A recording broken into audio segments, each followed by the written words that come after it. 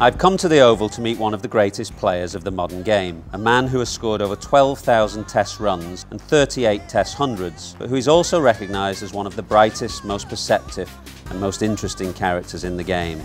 I'm here to find out about his life in Sri Lanka and the events that have shaped him as a cricketer and as a man. Tell me about your father, Shema, and the influence that he had on you growing up. Well, yeah, I think um, his influence not just over me, but but all my siblings um, was always very, very great. Um, he was a, a, an attorney at law by profession. Played a bit of cricket uh, for St Anthony's College in Kandy. Was more interested in hockey and athletics, and I think um, an accident on the on the hockey field meant that slowly he lost uh, um, complete sight in his in his left eye. So, you know, when we were young, he's also been a, according to him, a race car driver, but watching him drive a car with just one eye made, made us always laugh and say, no, that's, that just cannot be true. So um, growing up, I think the, my parents were very liberal in, in their outlook. Uh, they encouraged us to, to try as, as many things at school as, as, as we possibly could, not just academic work, but also in sport. But the, the overarching message that he gave us all was if you are actually spending a good amount of time on a certain thing, just make sure you do it as well as you possibly can. Um, and well, the reason that I asked was that became, you became a little bit of a Twitter sensation when you retired. It's yes. a man who scored 12,400 test runs, 38 test hundreds, and your dad's reaction was, did he achieve his true potential? I don't think so. he could have done more he could have done so much better. I, it, the funny thing with this, right throughout my career, it never mattered to him how many runs I scored. It just mattered to him the way I batted. So he was a man who also told me, if you want to know cricket, you've got to first read books. Forget playing, taking up a bat. You just got to know the history, the culture of the game. And he said, that's where you start with. So I was bombarded with books. Um, when I was young, before cricket, it was a, a novel, um, given to me on Monday and said, on Friday, I'm asking you questions, just be ready. And for some reason, I was the only gullible one out of my siblings that actually fell for these things because everyone else refused. But since I was the youngest, I probably said, ah, okay, fine. And um, I used to read it as much as possible. And then, and true to his word, Friday would be question day. And then, so that got me into a habit of reading. Um, and he always told me, if you want to learn about batting, you need to read C.B. Fry. Um, and then, of course, the Don on, on, mm-hmm. on the art of batsmanship, Mike Brearley on, on the art of captaincy. Um, so much so that I think he came to England to watch one of my first games here um, in 2002 or something like that. And I think Charles Fry was there at the MCC, mm-hmm. and I think he had either met my father or heard him speak about CB Fry. And he came and, and spoke to me and said, you know, he was my grandfather, and I would I have a, a, a, present for you. And out of the blue, he presented me with a second edition book of mm-hmm. The Art of Batsmanship. So I sent it to my father, and um, I remember being on tour, well into my test career, and suddenly at about two in the morning, hotel reception would call from England or somewhere, New Zealand, somewhere, and say, uh, "There's an urgent fax for you at, from home." Uh, and I, would jump out and think, "Oh my God, what's happened? Someone's sick." Or, and then I stopped to think like, who in their right mind would send a fax if something's urgent? then I say it's got to be my father because he doesn't carry a cell phone, doesn't know how to do his email. Um, and then it'll turn out to be two pages of CB Fry's bat, on, or, mm-hmm. passage on batting from the CB Fry book or from Bradman underlined and said, please read this before you go into bat because this is going to help you.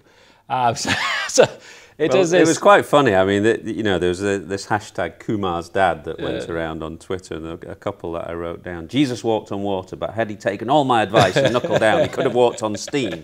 Hashtag Kumar's dad. Talk to me about Usain Bolt being the greatest when he breaks the sound barrier. Okay. Hashtag Kumar's dad. It, it says something about um, his influence on you. I mean, clearly he was quite a pushy parent he, to some degree. Then. He he was, but not in a in a destructive sense. He never tried to live vicariously through us, like he, or his sporting ambition or anything of the sort. But I always realized that, uh, let's say on a weekend, he'd wake me up at about six, seven in the morning. I tried to pretend to be asleep, but he somehow wake me up, take me out to the backyard where we had uh, what was earlier a badminton court, then turned into a tennis wall and half a tennis court. where he'd be throwing tennis balls at me to, to bat with or do shadow batting. Um, and eight o'clock would come by, nine o'clock would come by. My mother would come and say, "What are you doing to that child? That's torture. Let him go have breakfast." And he said, "No, no, no hold on, hold on. We're working on something. Once he gets through this, he can he can then eat." And his clients would come for consultations, and they'd be sitting outside. And my mother could, "Your clients are here." He said, "Listen, if they want to meet me, either they wait. If they don't want, they can go. Because tell them I'm spending time with my son." Mm-hmm. So you actually realize the commitment that he made to us was amazing. It was never about uh, he could have gone and you know earned this consultation fee or t- taken on a new case. Or everything was secondary to that two, three, sometimes four hours that he continuously spent with, with me on a weekend. Um, and you understand suddenly that why parents do that. It is not about imposing themselves their ideas on you, but it's just all about you know love. You know, mm-hmm. you love your child, you want them to do well. Um, sometimes it can go it can happen in a negative way where, like you say, it could be mm-hmm, destructive. Mm-hmm. But in this case, for both my sister, my second sister who was a tennis player, and for myself, it was something that gave us a really good grounding and an, and an idea about what it took to really, if we wanted to pursue this as a career and become professional sportsman, and that's a decision I made last. My father never told me at mm-hmm, 13, 14, mm-hmm. you have to play for Sri mm-hmm. Lanka, you have to be an international. No, it was just about being the best that I could be. And if I decided to play, yes, so be it. Um, and that was that was a great lesson. Um, and I look at my children now, and I sometimes tell them, okay, what about swimming or what about this? And then they play it one day and say, oh, I don't really like it that much. And I say, listen, let's get better at it.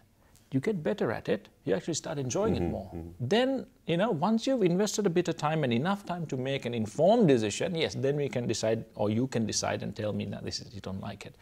But sometimes we, just because of like or dislike, I think we miss a lot of opportunities rather than really investing some real time in seeing something through. You were born um, in 77 up in the capital of the hill country in Kandy. Most people say that cricketers are products of their environment.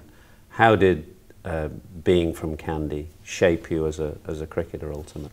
Um, in Kandy, growing up, um, it was a strange thing. I was I went to a school um, I mean, Trinity College, Trinity famous College. school. The, your school ground is a test ground. Absolutely, but it's a rugby school.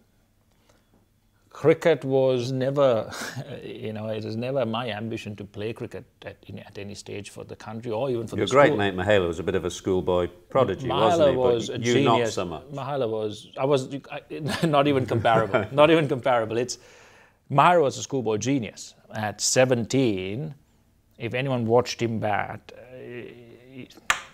guaranteed to play international cricket. Thilan Samaraweera, watching him at 17, will play. Avishka Gunawardene, yes, of course. Um, I actually seriously started playing cricket when I was about 16, 17, switching from the other sports. Um, so Kandy itself. I wondered, I mean, it's a bit cooler, a bit greener up in Kandy. I'm thinking about your development as a batsman now. I, Somebody scored runs all around the world. I, I think a bit more bounce, a bit more movement. absolutely. There, so Kandy, cooler climate, rains a hell of a lot. Um, I remember having consistent drizzle for like a week mm-hmm. without stopping. So the, the, the pitch was always green at Asgiriya when you played under 17 onwards on turf. And we always had fast bowlers because that's what the, the, the pitch dictated. And you learn to play on wickets and conditions that had swing and seam. So I think that was one of the main reasons why I was more adept against faster mm-hmm. bowling rather than actual spin, because right throughout my developmental stage, I played on tracks that help fast bowlers, and you learn to play on the back foot, you learn to cut and pull, um, um, and you, something that was alien to other schools, because if you go to certain other schools, it would just rag square from day one. Um, so in that sense, the, the, the, the conditions in Kandy, all of that really helped me develop as a, as, as a batsman.